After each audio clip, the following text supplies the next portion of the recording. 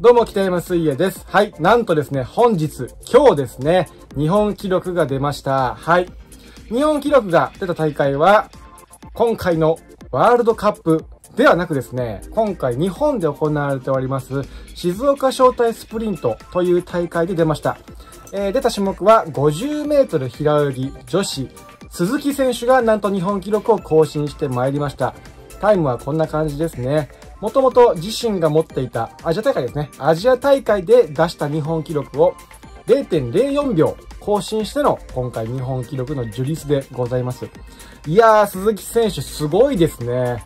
今、現在32歳ですけども、まだタイムが上がるっていうね。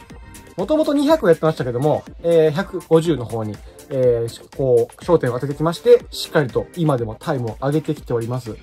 本当にね、あの、世界水泳から、もうすごいずっと調子を上げていってる選手ですよね。はい。なので、今後が非常に楽しみでございます。